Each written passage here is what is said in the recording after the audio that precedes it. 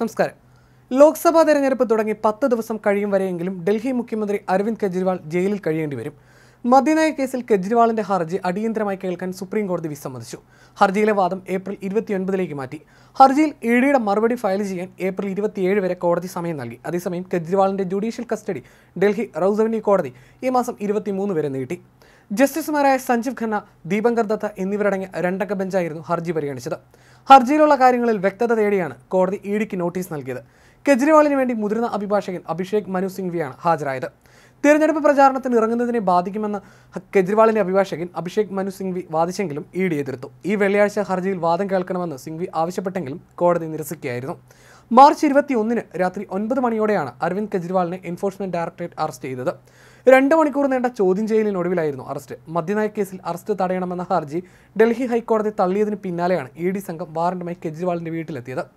അറസ്റ്റിനെതിരെ കെജ്രിവാൾ നൽകിയ ഹർജി ഏപ്രിൽ ഒൻപതിന് ഡൽഹി ഹൈക്കോടതി തള്ളിയിരുന്നു. അറസ്റ്റ് നിയമവിരുദ്ധമാണോ എന്ന് പരിശോധിക്കുന്നതിന് വേണ്ടിയാണ് ഹർജിയെന്നും ജാമ്യം അനുവദിക്കാനുള്ളതല്ലെന്നും വ്യക്തമാക്കിക്കൊണ്ടായിരുന്നു ഹർജി തള്ളിയത്. തുടർന്ന് ഏപ്രിൽ പത്തിന് അദ്ദേഹം സുപ്രീം കോടതിയെ സമീപിച്ചു. നിലവിൽ കെജ്രിവാൾ തീഹാർ ജയിലിലാണ് രണ്ടായിരത്തി ഇരുപത്തിയൊന്ന് രണ്ടായിരത്തി ഇരുപത്തിരണ്ട് വർഷത്തിൽ മദ്യനയം രൂപീകരിക്കുന്നതിലും നടപ്പാക്കുന്നതിലും അഴിമതി നടന്നുവെന്ന് ആരോപിച്ചാണ് കേസ് രജിസ്റ്റർ ചെയ്തിരിക്കുന്നത്. ഡൽഹി സർക്കാരിന് കീഴിലുള്ള വിവിധ ഏജൻസികളുടെ കീഴിലായിരുന്ന മദ്യവിൽപ്പനയും ഇടപാടുകളും സ്വകാര്യ മേഖലയ്ക്ക് കൈമാറുന്നതായിരുന്നു നിയമം.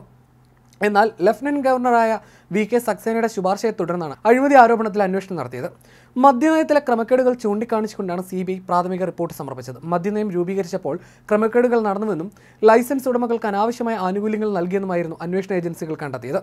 കേസുമായി ബന്ധപ്പെട്ട് ആപ് നേതാക്കളായ മനീഷ് സിസോദിയ സഞ്ജയ് സിംഗ് എന്നിവർ ജുഡീഷ്യൽ കസ്റ്റഡിയിലുമായി. സംഭവം വിവാദമായതിനു പിന്നാലെ കഴിഞ്ഞ വർഷം ജൂലൈയിൽ മദ്യനയം പിൻവലിക്കുകയായിരുന്നു.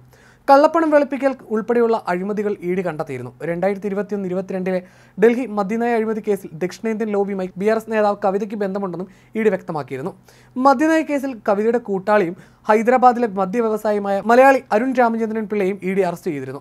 അതേസമയം മദ്യനയ അഴിമതി കേസിൽ അറസ്റ്റിലായ ബി ആർ എസ് നേതാവ് കെ കവിതയെ ഏപ്രിൽ ഇരുപത്തിമൂന്ന് വരെ ജുഡീഷ്യൽ കസ്റ്റഡിയിൽ വിട്ടു. മൂന്ന് ദിവസത്തെ പോലീസ് കസ്റ്റഡി പൂർത്തിയായ ശേഷമാണ് ഡൽഹി റൌസവനി കോടതിയുടെ നടപടി.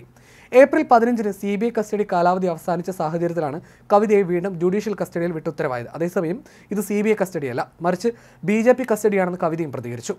മദ്യനയ കേസുമായി ബന്ധപ്പെട്ട് മാർച്ച് പതിനഞ്ചിനാണ് എൻഫോഴ്സ്മെന്റ് ഡയറക്ടറേറ്റ് കവിതയെ കസ്റ്റഡിയിലെടുത്തത്. നിലവിൽ തീഹാർ ജയിലിലായിരുന്ന കവിതയെ ജയിലിനുള്ളിൽ വെച്ച് സി ബി ഐ ചോദ്യം ചെയ്യുകയും അറസ്റ്റ് രേഖപ്പെടുത്തുകയും ചെയ്തിരുന്നു. പിന്നാലെ ഏപ്രിൽ പതിനഞ്ച് വരെ കവിതയെ സി ബി ഐ കസ്റ്റഡിയിൽ വിട്ടിരുന്നു.